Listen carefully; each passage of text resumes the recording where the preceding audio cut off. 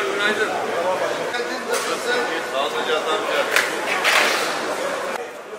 Merhaba, iyi işler. Kolay gelsin. Hayırlı işler, bol bereketli olsun. Hadi hayırlı olsun, bol bereketli olsun.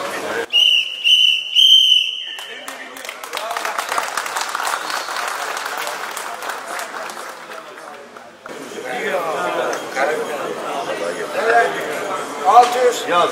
600 var. Serkan.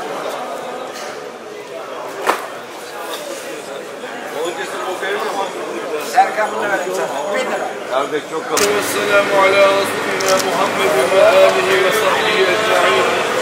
hep birlikte tüm hemşerilerimle ekmeğini denizden kazanan tüm e, balıkçılarımızla bir olduk, beraber olduk. Hayırlı işler diliyoruz, bol kazançlar diliyoruz.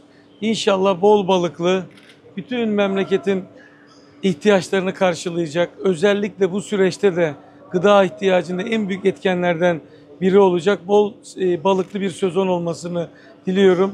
Kazasız belasız e, hayırlı işler olmasını temenni ediyorum. Ya bu sezon e, bu sene Palamut'la başlayacak. Çünkü bir aydır Karadeniz'de e, ki Palamut belirtileri çok iyi. Zaten ça- 15 Eylül'den 15 Ağustos'tan sonra da çapariler serbest olduğu için oradaki e, avcılık e, durumu bize bu şeyi veriyor, bu bilgileri veriyor.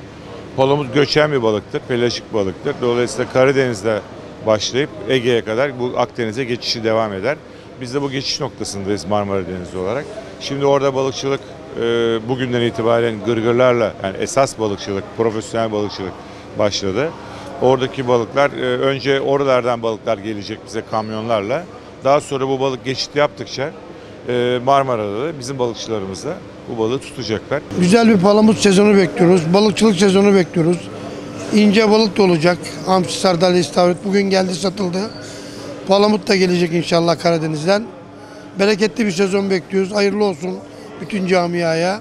Bu sene bol, bereketli, kazançlı bir sezon bekliyoruz. Balık bu sene var, bol. Herkes bol bol balık yiyebilir. Güzel, bereketli olacak inşallah. Palamut bol gözüküyor. Sardalyamız bol. Şimdi tam zamandır sardalyanın. Bol bol yiyelim.